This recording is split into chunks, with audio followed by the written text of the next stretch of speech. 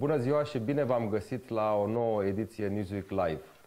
Uh, astăzi vă invit la o ediție specială să vorbim despre electrificare, despre electrificarea automobilelor, uh, deoarece după mai bine de 100 de ani, era motoarelor termice pe benzină sau pe motorină este aproape de final, iar industria auto trece pentru o adevărată revoluție. Provocările sunt uriașe.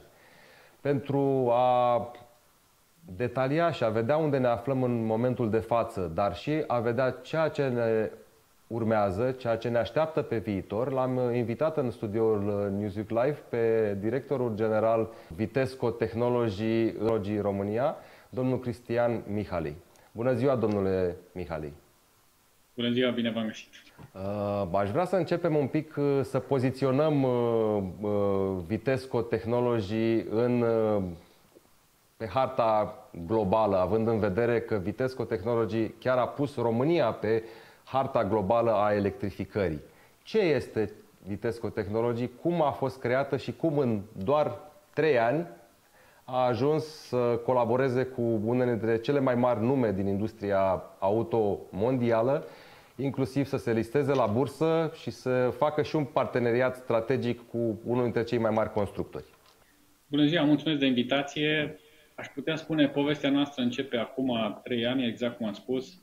Uh, noi suntem un spin-off, uh, o companie creată în urma unei despărțiri de către Continental, divizia Powertrain, adică cea care se ocupa de tot ce înseamnă elemente constructive în automotive, pe partea de electronică pentru automobile, a fost separată într-o entitate legală distinctă. Asta în trecut se numea Powertrain, acum uh, ne numim Vitesco Technologies, așa cum este și numele. Într-adevăr, un, a fost un proces îndelungat, uh, pentru mine foarte interesant, pentru România un proiect uh, fabulos, ca să zic așa, din punct de vedere al implicării organizaționale, dar, într-adevăr, ne-am uh, separat și acum, de un an de zile, suntem listați la bursă. 16 septembrie marcăm un an de zile de când suntem independenți și ca focus este clar, electrificare. Adică tot ce înseamnă piața automotive, tot ce înseamnă mașini electrice, Asta este focusul pentru compania noastră. Așa, per ansamblu, deci am trecut de la motoare pe benzină, motorină, TDI-uri, DSG-uri, da? Cu asta se ocupa da. powertrain-ul. Uh, am trecut către electrificare, către uh, mild hibrid, hibrid, inclusiv mașini, mașini electrice. Cum am reușit noi, în România, cum a reușit Vitesco România să apară pe harta aceasta mondială a electrificării automobilului? Este o poziție fabuloasă. În primul rând, prin ceea ce avem în România deja. Deci uh, avem o organizație de peste 1500 de ingineri în România, ceea ce înseamnă foarte mult pentru o companie uh, globală, dacă ne referim strict la partea de inginerie. Um, să nu aș putea spune că noi toți acum facem doar electrificare. Noi trebuie să uh, ajutăm clienții noștri și pe partea de combustie. Deci încă mai avem proiecte pe care le dezvoltăm acolo. Dar tot ce înseamnă inginerie da? Se poate muta încet, încet către electrificare și noi asta facem. Și avem echipa dedicate care se ocupă doar de produse de electrificare, dar, bineînțeles, oferim suport și dezvoltăm și produsele care încă sunt cerute de piață. Și asta zic, tranziția asta este făcută de oameni, deci nu de... Nu știu dacă vă spune prea mult, dar inginerii sunt foarte creativi în tot ceea ce înseamnă inginerie. Și atunci chiar ei au dorința de a se muta către un domeniu nou, tehnologic.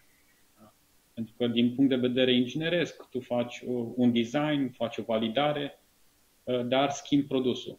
Și atunci devine mult mai interesant și mai inginerește, să zic așa.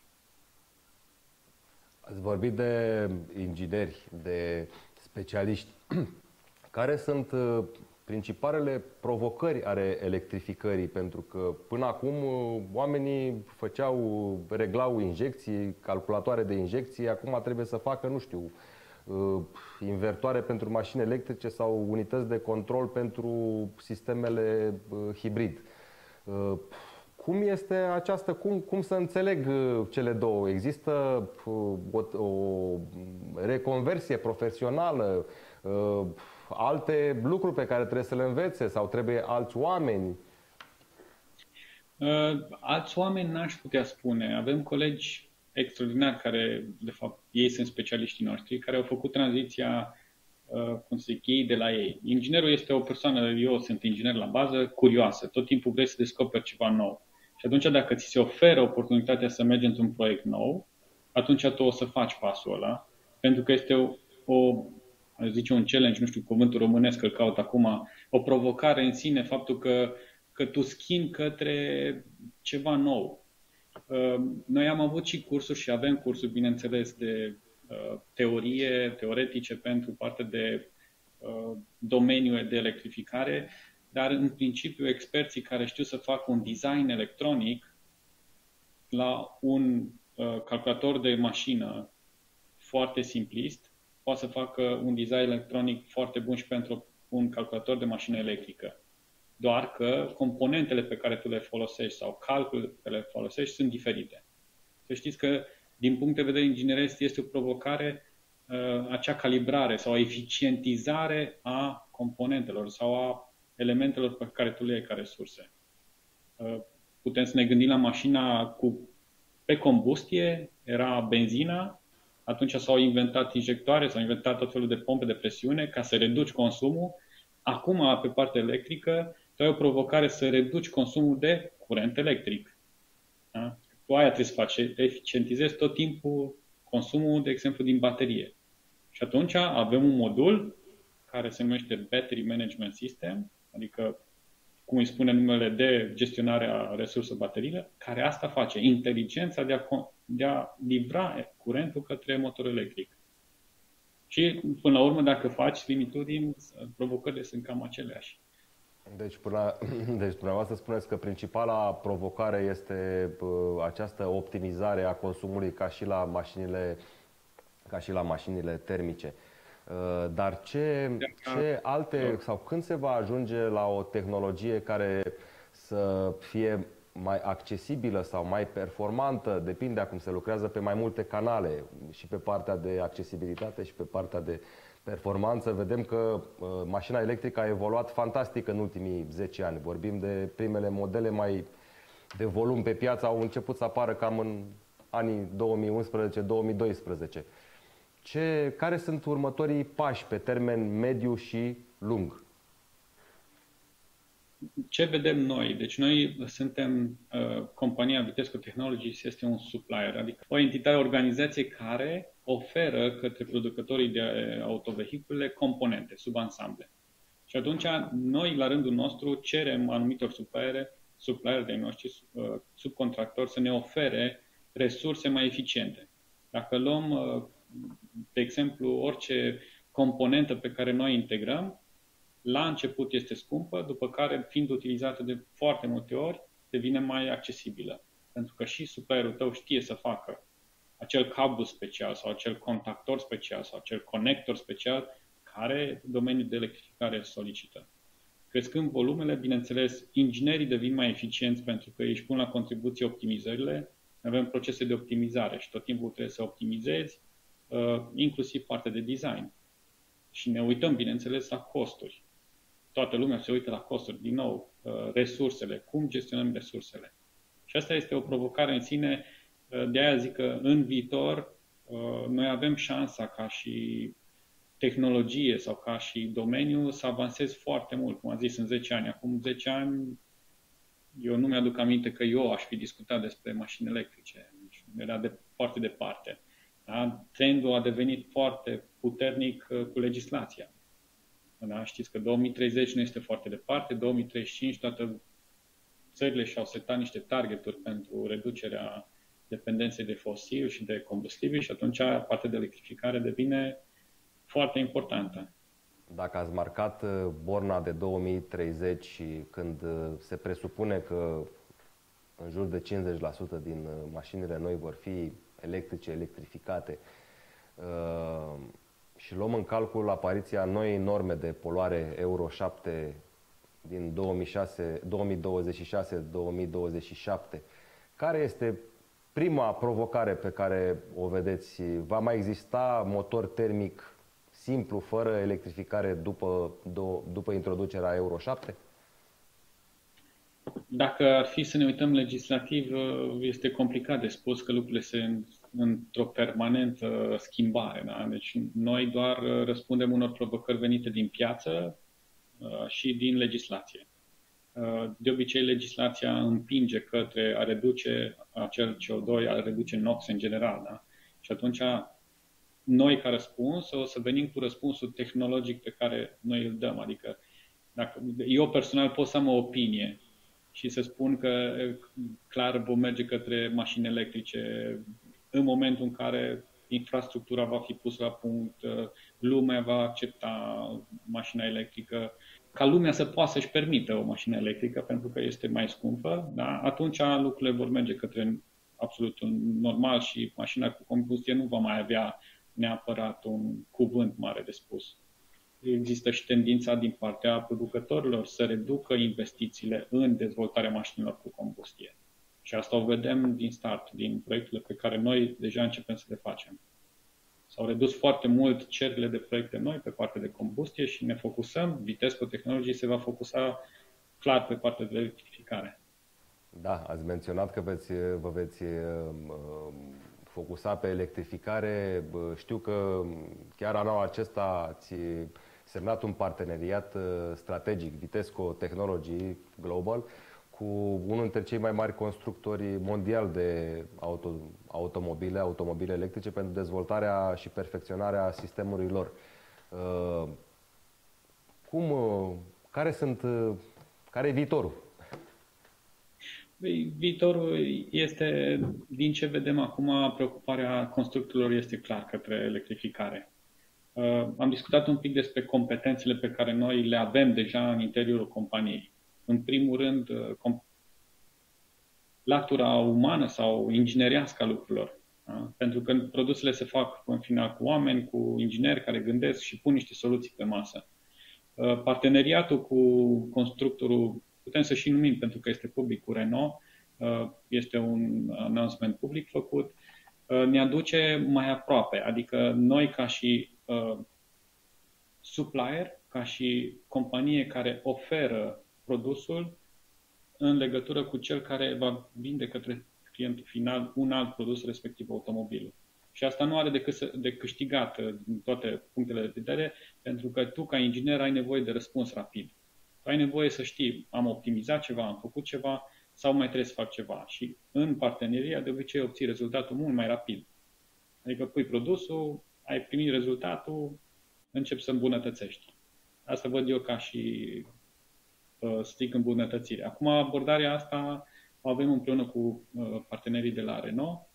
Sperăm să fie de succes, avem echipe dedicate pentru produsele respective. Va fi foarte complex și fiind două organizații diferite, trebuie să vedem cum lucrăm împreună, dar uh, au mai fost parteneriate în trecut și au fost de succes. Da, într-adevăr, ați avut numai parteneriate mari, cum ar fi cu Volkswagen sau, uh, eu știu, cu uh, Jaguar, da, pentru modele electrice, din câte știu eu cel puțin. Care este rolul sau care este și structura Vitesco Technology România? Cum ne poziționăm noi? Ce facem în noi în România pentru mașina electrică? Acum, uh, cred că mi-ar fi foarte dificil să spun ce nu facem uh, decât ce facem, uh, sau mai simplu, nu, să zic ce nu facem decât ce facem, pentru că portofoliul de produse este destul de variat. Și atunci, ce facem noi în România? Avem trei centre de inginerie ca și poziționare, în sensul că avem Timișoara, Sibiu, Iași, trei centre în care avem peste 1500 de ingineri uh, pe partea de dezvoltare, plus uh, mai avem sute de oameni care ne oferă suport, adică ca și companie, uh, gen resurse umane, gen financiar sau orice departament de care noi avem nevoie să, să funcționăm. După care avem uh, producție, o linie de producție la Brașov, de fapt o fabrică, unde de începând de anul trecut, am început să construim uh, un invertor pentru un producător, pentru jegurile în Provo și asta este public, deci nu e nimic secret aici. A fost primul produs pe care l-am uh, industrializat în, Braș, uh, în uh, producție în Brașov și clar planurile sunt de a crește volumele pe partea de electrificare. Deci cam asta este structura din România ca și prezență Vitesco Technologies. Aș putea spune peste 4.000 de oameni angajați în Vitesco Technologies în România, la momentul actual. Ceea ce înseamnă deja o companie mare. Da, într-adevăr este foarte mare și sunt convins că sunteți într-o competiție la... Sunt, suntem, de fapt, într-o competiție la nivel uh, european și mondial.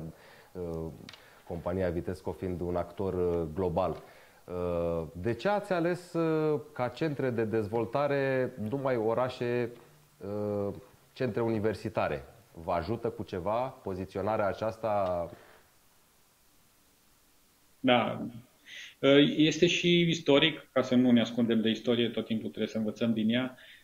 Este și istoric. Noi am fost prezenți ca și centru de dezvoltare în, loca- în aceste orașe și, bineînțeles, ne ajută foarte mult uh, abordarea sau împreună cu universitățile. Noi avem uh, proiecte, avem uh, doctorate împreună cu universitățile. Colegii noștri participă la cursuri, predau unii în universități, așa încât colaborarea pe partea de tehnologie să fie foarte apropiată și să oferim suport și viitorilor ingineri.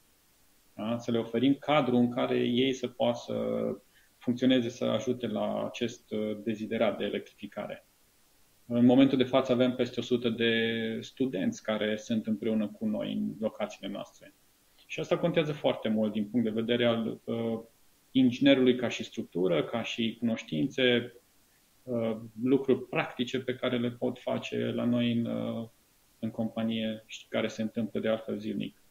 Acum, vă mai spun așa ca și paralelă, știți că uh, nu mai lucrăm toți neapărat din oraș. Acum mai lucrăm și de la Suceava, și de la Botoșani, și de la Orșova, și de la Copșa Mică, de la, da? deci oamenii au început din alte locuri decât din zonele lor comune sau din orașe. Și noi avem un program de flexibilizare, să zic așa, se poate lucra de acasă pentru anumite contexte de lucru, bineînțeles. Și atunci, uh, să zic așa, da, contează locația ca și universitate, dar ca și uh, loc de a munci, momentan suntem prezenți, cred că, în toată România. Pe partea aceasta de, de resursă umană aveți, uh, știu că în general și alți actori din piață, că mai sunt și alte companii în, în industrie care fac lucruri, Uh, și au o problemă de resursă umană. Adică aveți nevoie, ce ar trebui să, nu știu, pentru ce ar trebui să se pregătească un uh, student da, nou ca să ajungă posibil să lucreze la unul dintre centrele dumneavoastră? Uh, eu, în primul rând, ceea ce se oferă la o universitate, să zicem, hai să o luăm pe latură tehnică, da? Ca să ne referim la latura de tehnologie tehnică. Dacă un student este curios ce se face la universitate și învață ce este acolo, nu ar avea o dificultate să meargă mai departe într-o companie. Pentru că specializarea poate să vină și pe parcursul studiilor, în companie acum există programe, sau și după.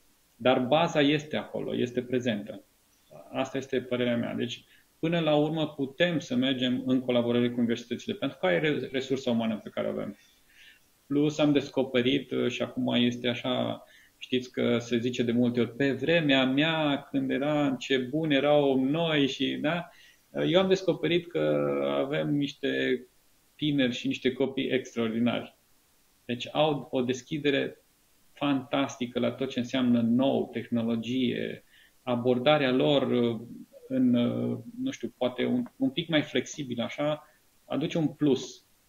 Eu, am, eu sunt o persoană optimistă și atunci cred că ei o să aducă plusul de care noi toți avem nevoie, dar este deja prezent cumva. Da? N-aș putea să învețe ceva, dar în, prim, în primul rând trebuie să fie curios. i-aș recomanda eventual să facă și lucruri pe lângă universitate, să se ducă la niște proiecte de robotică, da? Sunt, acum sunt niște competiții foarte faine și sunt organizate în România. Oricine poate să meargă acolo, dacă, bineînțeles, să-și alocă timpul și curiozitatea și pasiunea pentru așa ceva.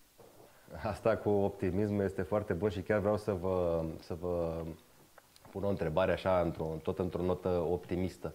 Uh, ce ar trebui sau ce considerați că ar trebui să facă autoritățile centrale, locale, ca să facă România și mai atractivă pentru astfel de investitori din automotive, în tehnologie?